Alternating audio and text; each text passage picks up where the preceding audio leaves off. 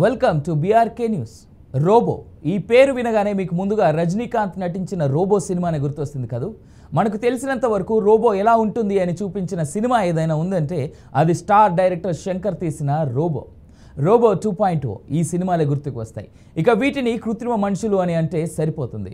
అచ్చం మనిషిలా మనిషి ఆకారంలో ఉన్న మానవులు చేసిన మరో కృత్రిమ మనిషి అనే చెప్పాలి. కానీ మీరు ఎప్పుడైనా ఈ చిత్ర విచిత్రమైన వార్త విన్నారా? మీరే కాదు ఈ ప్రపంచంలో ఎవరు వినలేదు చూడలేదు అంతలా రోబో ఏం చేసిందంటారా? అయితే ఆగండి అక్కడికే వస్తున్నా. గతంలో ఎప్పుడూ లేని విధంగా ఈ ప్రపంచమే షాక్ అయ్యే సంఘటన ఇది. రోబో ఆత్మహత్య చేసుకుంది. ఏంటి? నమ్మడం లేదా? మీరే కాదు ఈ వార్త విన్న ఎవరూ నమ్మరు. కానీ ఈ ఒక్కసారికి నమ్మి తీరాలి. ఇక విషయంలోకి వెళితే ప్రపంచంలో పెద్ద పెద్ద ఇంట్లో ఎవరైనా వాళ్ళ అవసరాల అనుగుణంగా పని మనిషిని పెట్టుకుంటారు. తమ ఇంట్లో పని చేసుకోవడానికి ఓపిక లేని వాళ్ళు ఓపిక ఉన్న టైం లేని వాళ్ళు ఇలా చాలా మంది తమ ఇంట్లో పని మనుషులతో తమకు కావలసిన ఇంటి పనులు చేయించుకుంటూ ఉంటారు. వాళ్ళకు ఒక్కోసారి ఆ ఇంటి ఓనర్స్తో ఒకటే ఒత్తిడి ఉంటుంది. అది చెయ్యి ఇది చెయ్యి అంటూ ఉదయం నుంచి రాత్రి దాకా ఒకటే పని చెప్తూ బాధతుంటారు.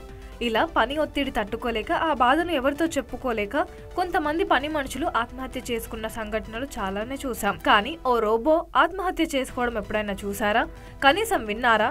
కానీ ఇదే ఘటన దక్షిణ కొరియాలో జరిగింది. దీంతో ప్రపంచవ్యాప్తంగా ఓ కింత ఆశ్చర్యానికి గురి చేస్తుంది. పని ఒత్తిడి తట్టుకోలేక ఓ ఇంట్లో సర్వెంట్గా పనిచేస్తున్న రోబో ఆత్మహత్య చేసుకుంది.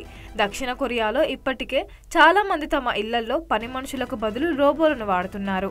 ఇంట్లో పని మనిషి చేసే అన్ని పనులు ఈ రోబోలు చేస్తాయి.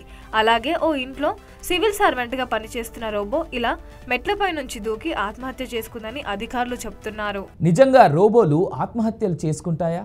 మనుషుల్లాగా రోబోలకు కూడా ఫీలింగ్స్ ఎమోషన్స్ అంటూ ఉంటాయా? మనం గతంలో రోబో సినిమాలో ఇలాంటి ఒక సినిమా మనకు గుర్తుకు వచ్చింది. రోబో సినిమాలో చిట్టి అనే రోబోకి సైంటిస్ట్ వసీకర్ మనిషిలాగే రోబోలకు కూడా ఫీలింగ్స్ ఎమోషన్స్ లవ్ ఇలా అన్నీ ఉండాలి. అప్పుడే ఇవి ప్రపంచంలో ఉన్న మగ ఆడ అంటూ తేడాలు తెలుస్తాయని ఆ రోబోకు థీరీ క్లాస్ చెప్పి మరి చివరికి ఆ రోబోలో ఫీలింగ్స్ వచ్చేలా చేస్తారు.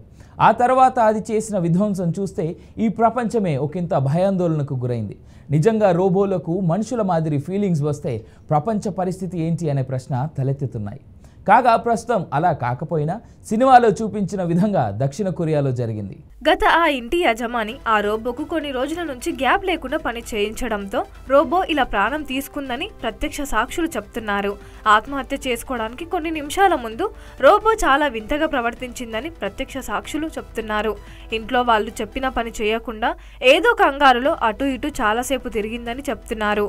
ఏదో వెతుకుతున్నట్టుగా బయటకు వెళ్ళి రెండో ఫ్లోర్ మెట్ల నుంచి ఒకటో ఫ్లోర్ మెట్ల మీదకి దూకేసిందని చెప్తున్నారు. ఇలా పడిపోవడంతో రోబో ముక్కలైపోయింది. దీంతో ఆ ముక్కలను స్వీకరించిన అధికారులు రోబోను తయారు చేసిన కంపెనీకి పంపించారు. దక్షిణ కొరియాలో ఇప్పుడు ఇదే హాట్ టాపిక్ నడుస్తుంది. ఈ రోబోను అమెరికాలోని కాలిఫోర్నియాకు చెందిన బేర్ రోబోటిక్స్ అనే సంస్థ తయారు చేసింది. ఈ రోబోను దక్షిణ కొరియాలోని గూమి సిటీ కౌన్సిల్ అధికారులు రెండు వేల ఇరవై మూడు ఆగస్టులో ఈ రోబోను రిక్రూట్ చేసుకున్నారు. అంతకుముందు రెస్టారెంట్లో కస్టమర్లకు ఫుడ్ అందించేందుకు బేర్ రోబోటిక్స్ అనే సంస్థ రోబోలను తయారు చేసేది. అయితే తొలిసారి సిటీ కౌన్సిల్ ఆఫీసర్గా ఆ కంపెనీ తయారు చేసిన రోబోని గూమే సిటీ కౌన్సిల్ అధికారులు ఎంపిక చేశారు. ఆ రోబోను పనిలో పెట్టుకున్న కొన్ని నెలలకు ఇలాంటి సంఘటన చోటు చేసుకోవడం గమనార్హం. ఈ ఘటనపై సోషల్ మీడియాలో కూడా ఈ న్యూస్ తెగ వైరల్ అవుతుంది. ఒక్కొక్కరు ఒక్కోలా కామెంట్లు పెడుతున్నారు. ఎలాంటి ఫీలింగ్స్ లేని రోబో ఎలా ఆత్మహత్య చేసుకుంటుందని కొందరు అంటుంటే రోబోలకు కూడా పని గంటలు రెస్ట్ ఇవ్వాలి రోబోల యూనియన్ కావాలి అని కొందరు ఫన్నీ కామెంట్లు పెడుతున్నారు. అయితే ఈ ఇన్సిడెంట్ను నేరుగా విట్నెస్ చేసిన వాళ్ళు మాత్రం రోబో కావాలనే అలా దూకి ఆత్మహత్య చేసుకుందని చెప్తున్నారు. మెషిన్ ఆత్మహత్య చేసుకోవడం సాధ్యమేనా అనే విషయం పక్కన పెడితే ఇప్పుడు తన విచిత్ర ప్రవర్తనతో వార్తల్లోకి ఎక్కే ఉత్తర కొరియా ఇప్పుడు దాని పక్క దేశమైన ఈ ఇన్సిడెంట్తో దక్షిణ కొరియా హెడ్లైన్స్లో నిలిచింది.